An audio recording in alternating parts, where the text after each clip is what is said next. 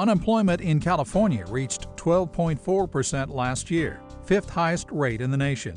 San Bernardino County's latest unemployment figures show a staggering 14.8% rate. But a bright new light looms on the horizon. Labor leaders say a new solar energy facility at Ivanpah is already adding jobs, enriching lives, and rescuing the local economy.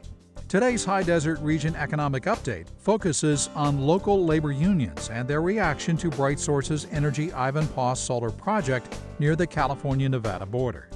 We're real proud of our partnership with Bright Source Energy and, and Bechtel Corporation and the building trades. What this means is, is, is jobs in this, in this economy. The craft workers will get back to work. It'll open up training opportunities for new people in the region to go into the apprenticeship programs.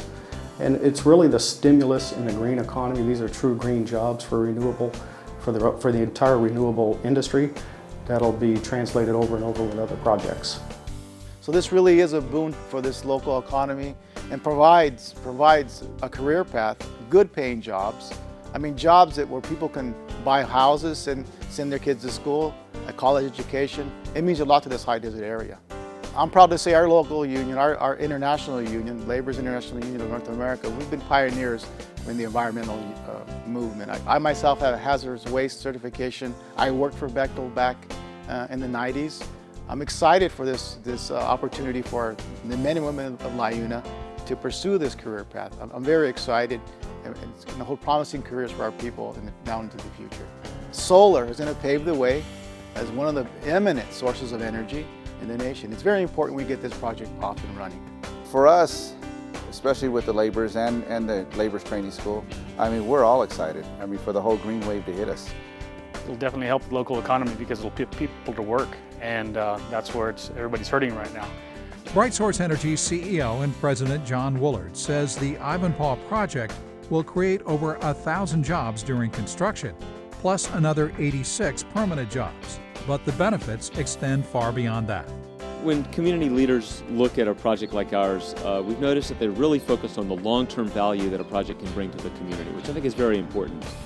Uh, they're construction jobs over a several year cycle, but then we have uh, long-term employees that will be there for the decades that these plants will be in operation. Uh, our employees' children will be going to the school, so we're already integrating in with the fabric of that community. How far can the benefits of Bright Source Energy's Ivanpah solar project actually reach? Union members are very optimistic. As the country moves toward more and more green technology, the Bright Source Ivanpah project provides an opportunity to increase the skills of the construction crafts and be able to translate those skills over and over on future projects. As far as I'm concerned, Bright Source has done a good deal because it's going to help.